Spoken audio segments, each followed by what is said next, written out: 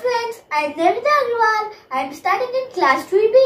Friends, yesterday I saw a balloon challenge from Shweta Tiwari ma'am on our school website and learned an important concept of air pressure.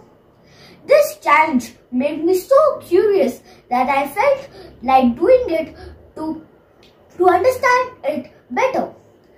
The, the challenge was to have an inflated balloon in the bottle. Let's try.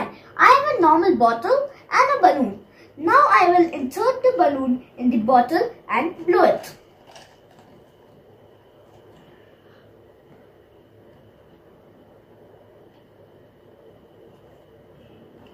As you can see friends, the balloon is not blowing. Do, do you know why? Because there is vacuum created inside the bottle. To release this vacuum, we have to make a cut or a hole in the bottle, like this.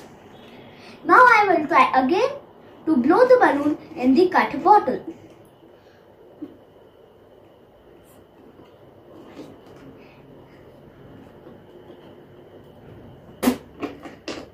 As you can see friends, the balloon has now because the air pressure got released from the cut.